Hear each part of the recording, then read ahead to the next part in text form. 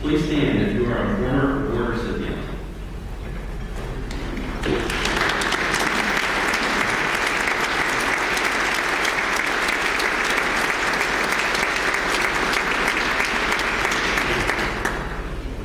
We now move to the special part of our program where we present the 2013 Washburn Alumni Association Awards, beginning with the Graduate of the Last Decade Award.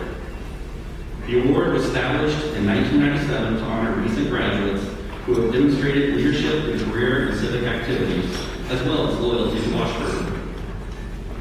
Ingrid Bego received a Bachelor of Arts in Political Science, German and Spanish from Washburn in 2003.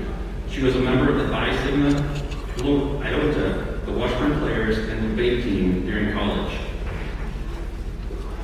One of Ingrid's mentors, Washburn professor Bob Beatty, writes that she was an outstanding student.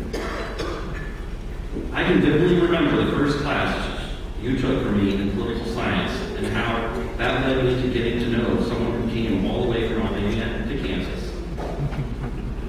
And then to, to such great success was one of the finest students at Washburn and one of the political science all-star alums.